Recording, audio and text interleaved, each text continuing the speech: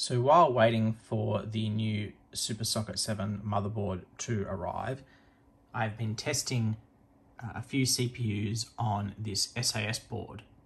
Now from testing it seems like this board uh, works very well, supports a wide range of CPUs and uh, is quite stable. The issue uh, with it is, is the memory performance is not fantastic. It is definitely slower than an Intel 430 TX motherboard. Not significantly, but definitely measurable. So I don't think that this motherboard is getting the full performance out of these chips, but I still think it was it has been an interesting uh, exercise, and I've got quite a few results which I'll go over uh, today. So this board's been pretty good. It's got inbuilt uh, video and sound. The sound was disabled during testing and so was the video. And I used a Voodoo 3. I used a single stick of 128 meg RAM running Windows 98 SE. So I've tested seven CPUs, um, two from Intel, two from AMD, and three from Cyrix. So from the Intel, I have a Pentium 133, just the, the standard one. Then I have a Pentium 233 MMX. Then for AMD, I've got the K6 200 megahertz. Then I've got a K62 300 megahertz. From the Cyrix side, I have a 6X86 PR200, the L version, which is the low powered version. Oh, the lower power. I think they did a die shrink or fix some issues uh, to make it run cooler. Then we've got the MX version. So even though it says IBM, it's the same as the Cyrix. So it's the PR233. And finally, the M2, which is really the same as the MX, uh, running at uh, 266 megahertz. And this one is listed as a PR333, uh, but that's definitely pushing it. So I'll go over the results first, uh, one by one, and then I'll give a bit of a summary at the end uh, to give my thoughts on the matter. So the first benchmark is the uh, CPU-Z, I think it's called Vintage Edition. Uh, this does both a CPU and uh, FPU test. This seems fairly good at just testing the CPU's raw performance. I don't think it's going to change significantly with the motherboard. I suspect it, um, I don't know, loads uh, the test into to the cache or something like that. Uh, so from from looking at the results, it seems fairly consistent, which is great. Uh, so yeah. So on the first uh, uh CPU result, we can definitely see the Pentium 133 is uh, quite a lot lower than everything else.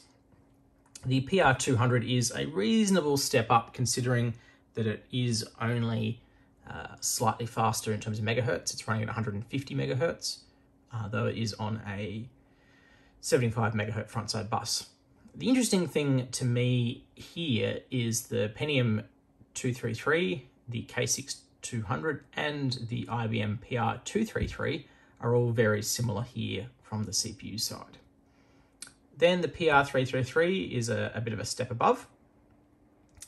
And uh, finally, the K62 is quite significantly higher. Now it is running, it is the fastest in terms of megahertz for all of these benchmarks. The PR333 is the closest at 262.5 megahertz, um, but uh, that shows in some results and, and not others. But yeah, uh, we can quite clearly see that the uh, K6 is the fastest. Uh, I'm pretty happy with the Cyrix PR200 results here. Uh, that seems to be um, pretty pretty accurate for the integer performance. So the next graph is the floating point unit from CPU-Z. Now this is an interesting one because you can see here that the Cyrix is falling behind the Intel, which again I think is uh, reasonably correct. This is where the Pentium really jumps above and shows that its floating point performance is quite a lot better. Uh, then we've got the K6 uh, beating the Cyrix, uh, which is interesting here because the Cyrix is running, you know, 60 megahertz faster and it's uh, not can't keep up with the AMD one here. Uh, and to be honest, I think it's quite interesting that the Pentium 123 really is sort of keeps up with everything else, um, even though it's quite a lot slower and doesn't have MMX. And then the K6-2 is way out in front. And I've seen the K6-2 being a lot faster in quite a few of the benchmarks I've done, not all of them. And I suspect that a lot of the benchmarks do utilize that 3D now. So I, th this, these sets of benchmarks do kind of line up with what I would expect the overall performance to be of the chips. So the first benchmark is Quake 3 demo. This first test is at 640 by 480 with a default setting, so this keeps the um, sort of GPU, uh, CPU, GPU um, on, so the GPU not not uh, being the limitation. I think this is though where the motherboard clearly shows its flaws. The uh, because the memory bandwidth is so poor, I don't think some of these CPUs are really able to shine. So the Cyrix, for example, um, when I tested it in a SuperSocket 7 motherboard, I was getting uh, 18, 19 frames a second. so I think this test is not particularly uh, reflective of the what, what these CPUs can actually output. Saying it though, it still is very interesting that most, the four chips, the uh, the Cyrix, the 233, the K6, and the uh, PR233 are all very similar here. Um, obviously, the Pentium 133 drops back a bit, but not as much as you'd expect, considering it's quite a lot slower. And then the Cyrix here is pretty terrible. I'm not actually sure that this is going to improve much when I get a better motherboard. I think this is probably what its true performance is in this benchmark. Uh, but again, this is where the, the um, K6-2 really shines. And it's not the plus version, so it doesn't have any on, on die L2 cache. So it still is dealing with, you know, slow memory performance. I think it does have a fairly large L1 cache, which is probably helping here. And also I assume there's the 3D now as well. Next benchmark is just the same again, but in 1024. I didn't bother testing the Cyrix because it was so slow, but th these results reflect the same as the 640 by 480 in terms of the placement of the of the chips. And yeah, the I would have thought that the Intel one here would have been a fair bit faster than the Cyrix PR233. So I think once we get a, another motherboard, it'll be interesting to see. Saying that though, pretty impressed sort of with both the K6 and the Cyrix PR233, uh, considering they're both running at 200 megahertz, they are, you know, within a throwing distance of the Pentium, which was always seen as having much better floating point performance. And I do think it does, but I don't think that matters in Quake 3 as much as it did in, say, Quake 1. I think memory throughput is a lot more important, which is interesting. So the next benchmark is 3D Mark 99. This one was an odd one with the Cyrix PR200. Uh, it got 17. It's obviously something going on here. Uh, but this the, this is where the Cyrix, there's been a few benchmarks that either didn't work or were terrible. And I honestly think the CPU is, is just got some, some issues. I don't think that it, uh, it basically can run everything properly, which I think is a little disappointing. Um, considering the, I think the PR233 with the MX from Cyrix is significantly better. That chip is actually a lot better than I expected. So again, we can see most of the, those four CPUs, the next four CPUs are all fairly similar, although the Intel one is definitely a bit faster. Um, and then the K6 is you know, quite significantly faster. Uh, next we jump onto 3D Mark 2000. Now this benchmark requires MMX technology, So that's why both the Cyrix and the Pentium 133 have zero scores here. They couldn't run this test. Again, the Intel one is coming out ahead of the other four in the pack, and the K6 2 is just way out ahead, you know, almost double the performance. And again, this this benchmark has definitely got 3D now um, instruction support, and that makes a big difference. And it is it is crazy how much uh, that di that difference is is apparent. Now the next benchmark here is Unreal Tournament. This is the outlier of all the benchmarks. I ran this at 1024, which probably I should have dropped it a bit lower, uh, but uh, it was running with, with Glide, um, and you can definitely see some separation here. So I, I don't think that the video card was bottlenecking it. This is another test where the Cyrix PR200 would not run, it simply crashed. I need to do a bit more research to see if that is just a flaw with the CPU or if I there's a, a, known bug or there's a patch I need to run to make it work, but it would not run um, Unreal Tournament, which was disappointing. The interesting thing here is that the Cyrix PR333 beat all, oh, no, that it matched the K62300. And it was significantly faster in this than a lot of the other tests done. Now, this, if you look at raw clock performance, is kind of what you would expect. And in fact, you would actually think that the K6-2 would be out higher because it is running at 300 megahertz. But the, the Cyrix definitely uh, did very well here. Um, the Again, the Intel did a, a good job, but uh, the PR200 and K6 both fairly similar performance there. And then the final test is CPU mark. This one's just a little Windows benchmark. Um, I think, again, it loves uh, L1, L2 cache.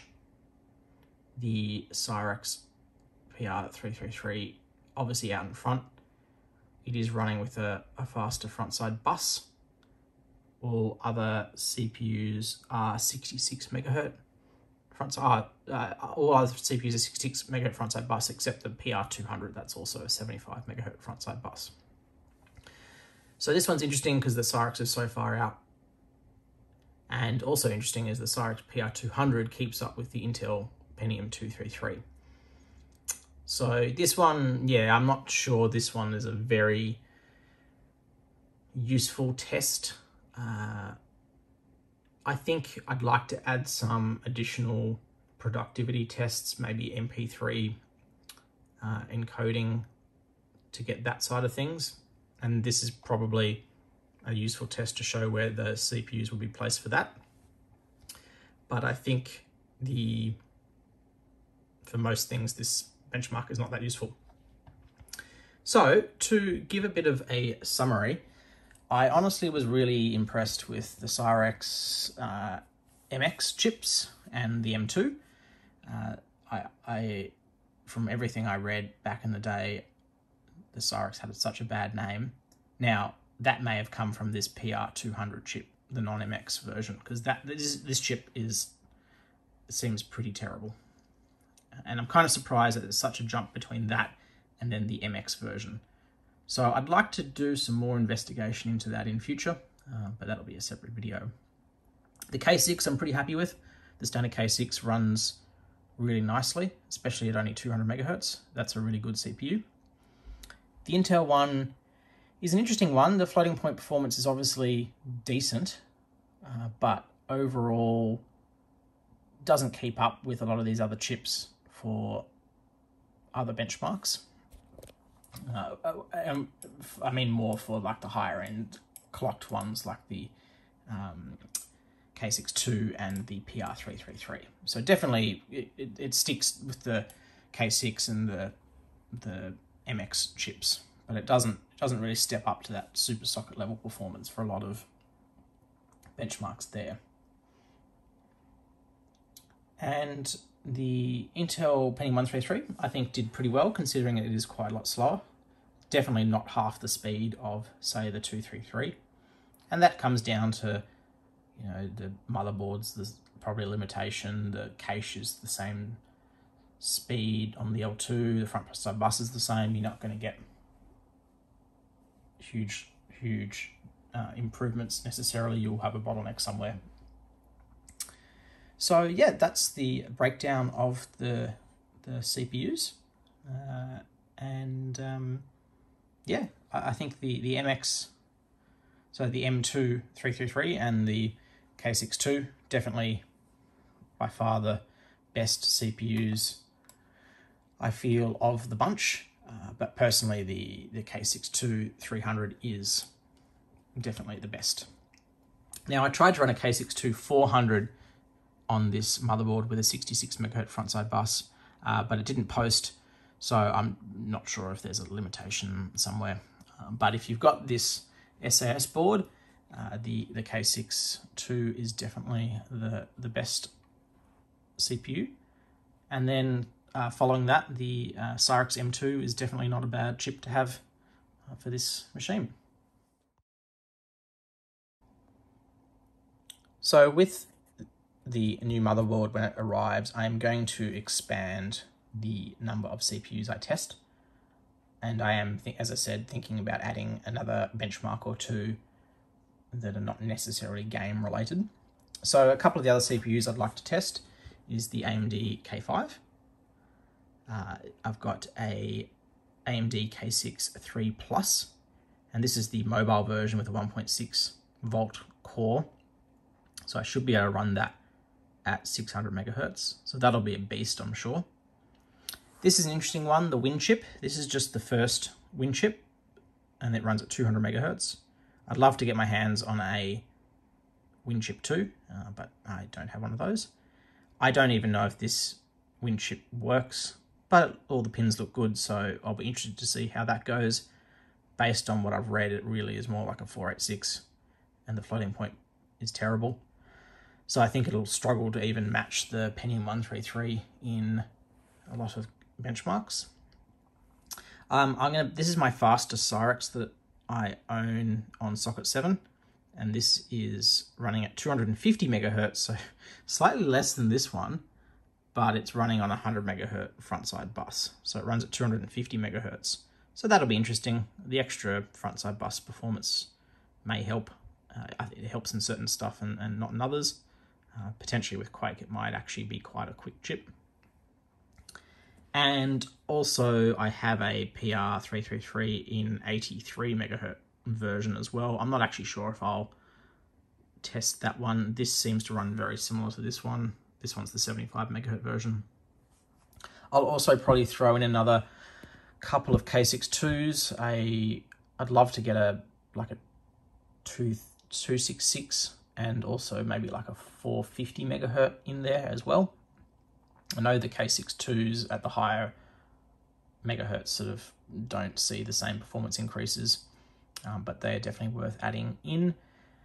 I also have a a K63 non plus that runs at 400 megahertz, so I might put that in as well. So yeah, uh, if anyone has any benchmarks they'd like to see or suggest, um, but otherwise I'll keep with what I've posted so far and probably add another couple. So I think, as I said, that's probably still a month off, but uh, this has been a, good start. Um, and I will be interested to see how much of a bottleneck this motherboard was for some of these benchmarks. I think some it'll be quite big, like Quake 3, whereas others, like some of the synthetic benchmarks like CPU-Z, uh, won't make a huge difference. Anyway, thanks for that and uh, we'll catch up soon.